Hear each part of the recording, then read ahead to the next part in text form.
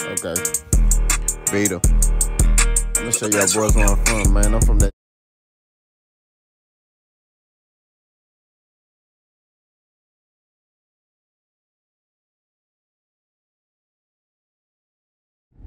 What's it up, baby? Y'all didn't know Big Boss Hogg, Boss Dog, K-Po through the dope. Here to talk this boxing before I get in my soliloquy. Remember, tough times don't last. Good people do. Don't off yourself. Call them in that hotline. Remember, you matter. Peak game. Peak game. 84s on what? Swang. How y'all doing, man? It's a beautiful Saturday. Your boy out here rolling around. Gonna head to the gym. Um, I thought I'd drop some content. I was on Instagram and on BoxingNews24.com. Right, so shout out to BoxingNews24.com. I get a lot of my articles from them. You know what I mean? Uh, they write very good articles, in my opinion. You know what I mean? But uh, I'm gonna post a link in the description. Errol Spence put a story on his Instagram, right? And he had Michael Kenneth Williams, aka Omar Little from the show The walking, right? With a gun in his hand. I believe it was a gun. And he got a blunt in the other hand. Or I believe it's a blunt, or maybe it's just a cigarette. I don't know. I gotta really look at it. But he just walking. And he walking. And boys are scattering like roaches. And Errol Spence put on that 154 to 160. I like that energy. And I think that's his weight class. I think Errol Spence can fight at 54 and 160. You know what I'm saying? Now, according to Robert, uh, I think it's Robert Diamond. Is that is that how you say name? If I'm butchering your name, my apologies. Uh, according to his article on the BoxingNews24.com, he said Errol Spence, him being 34 years of age, you know, um, fighting at 160 may be better for Errol. You know what I'm saying? It may be a good thing for Errol Spence. You know, when you reach a certain age, you get in your 30s, it's kind of hard for you to cut weight or lose weight. You know what I'm saying? Um, so he said fighting at 160 may be good for Errol. But he also said this. Terence Crawford's win against Errol is not aging well. I was like, hmm. he said Terence Crawford's win against Errol ain't aging well. So when he said that in the article, I immediately stopped reading. I'm like, what is what do you mean it's not aging well? Like I don't I'm not tracking. In the article, and I'm gonna post this is the article. This is not me, this is the article, okay? Then I'm gonna give my opinion. According to the article, he sat there and said it shows that Errol Spence was weakened in that Terence Crawford fight.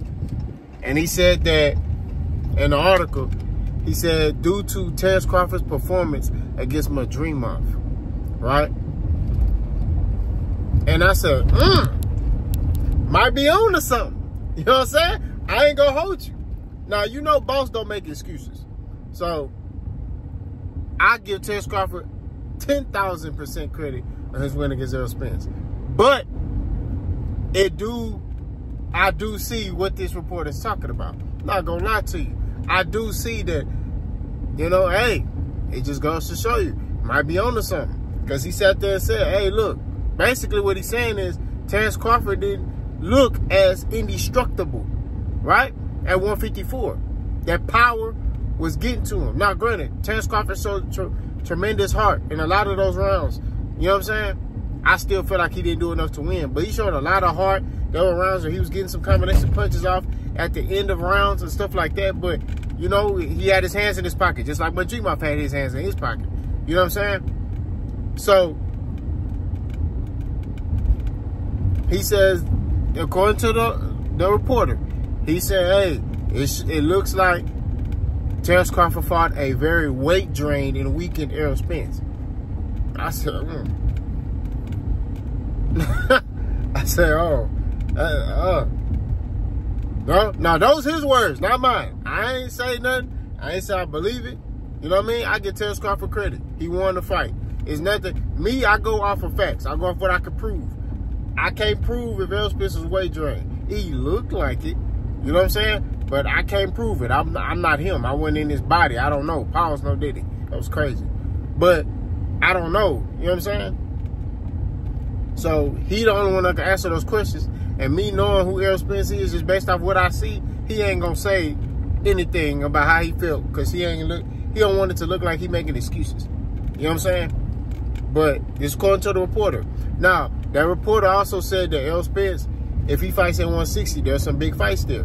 He could fight the winner of Danny Garcia, Erislandy Lara. He could fight Carlos Adames. He could fight Janibek. And there's another fighter that he could fight that I can't pronounce his name. Yeah, it's at 160. I'm not even going to attempt to because I, I can't. So it's it's a it's some it's some fights at 160. It's fights at 154. You get what I mean? So we shall see what Errol Spence does. You know, Errol Spence don't have a trainer right now. Uh, you know, him and Derrick James are having a legal issue. And who knows? It may be a temporary legal issue. They may be able to rekindle and, and start working back together. Who knows? We don't know. Errol Spence is very secretive about how he moves. He don't let people know what he thinking, what he feeling, or anything like that. He just make moves, and then you be like, dang, okay. You know what I mean? But a lot of his moves that he make, some of them I agree with, some of them I don't. But at the end of the day, it's made him the successful fighter that he is today. You get what I mean? Um, but my opinion is this. If Spence come back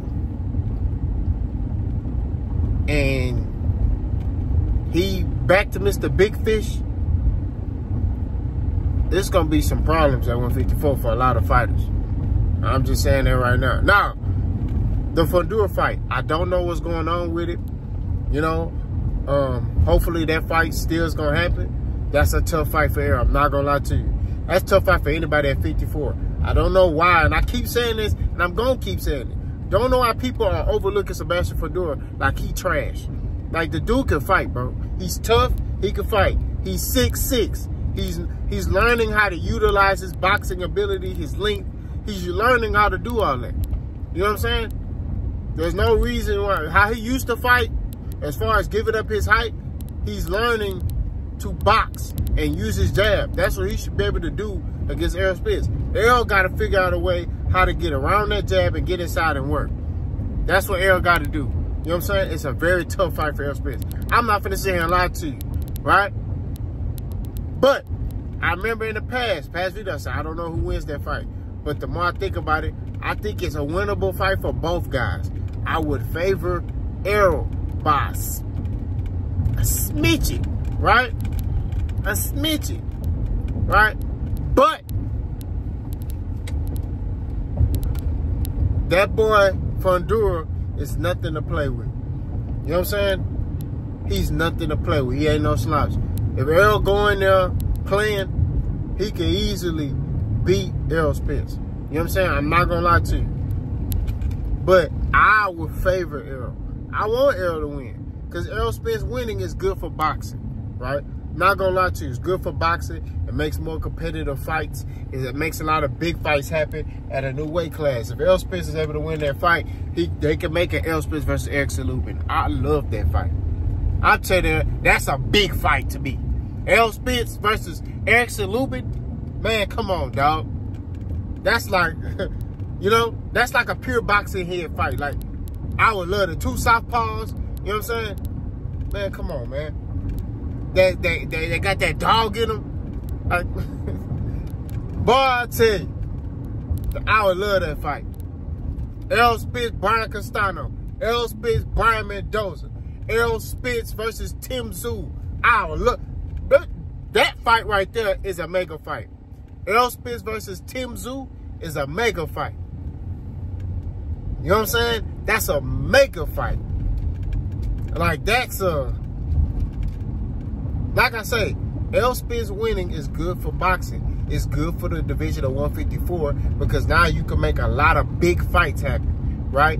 Because Errol Spence is able to be that cash cow and he's a name. He's coming up and he'll be able, if he's able to get through Fundora, I'm telling you, that man gonna fight all them dudes. I'm telling you that. He gonna look to fight all of them. I'm telling you this. He not looking to do that Terence Crawford stuff where he like, I only want to fight Canelo, that's it. All you other dudes are peasants. All you other dudes are beneath me. Blah, blah, blah. I did this back in 1927. Nobody cares, bro. You need to update your resume. You at a new weight class. Update your resume. Right? That's what I wanted for Terence Crawford. I thought Terence Crawford, he beat Errol Spence. Cool. This is the start of a new trend. He gonna fight top competition. And he just, oh, I only want Canelo. Hey, if it's not Canelo, I don't, I don't care. I don't want to fight. I don't. I, what Boots? Who is that? What has he done? This is Terence Crawford. Boots? Who is that? What has he done? Is that that guy we offered him to fight twice? He can't hit too much. He not ready. He a good little fighter. He a good little fighter, but he get hit too much. You know, if I land something on him, it's gonna be good night. Well, let's see it then. I want to see it. I want to see you give him a good night shot. I want to see you bop, boop, boop, bop, beat, bop, bow. I want to see that. You know what I'm saying? All that talking about it, that's cool. You may be able to do it. I'm not going to lie to you. But we want to see it. That's, that's, that's I want, I want to see it. You know what I mean? See, with Terence Crawford, he plays his role of villain. He plays his role of boogeyman. And then when he finally get to the top, uh, you're beneath me. Nah, bro. If you like that, you go where the smoke is at. I've been telling y'all actions speak louder than words. Now watch this. Errol Spence, and if, if, and that's a big if, all right? I ain't finna sit here and cap be like, oh yeah, man, he gonna steamroll Fundora. Nah, I'm a fan of boxing, not fighters if he beats Sebastian Fundora, or even if that fight happens, you know, he, he may not get the Fundora fight. He may have to come back and fight somewhere else. But if he beats Fundora, watch him fight top guys. Watch him be like, uh, uh, Erickson Lubin, let's get it. I'm willing to give you a title shot. Let's go. Watch him be like, hey, Mendoza, let's get it. Tim Tszyu, let's unify. Like I'm telling you, that's what he gonna do. You know what I'm saying? And what does that do? If Spence able to win, if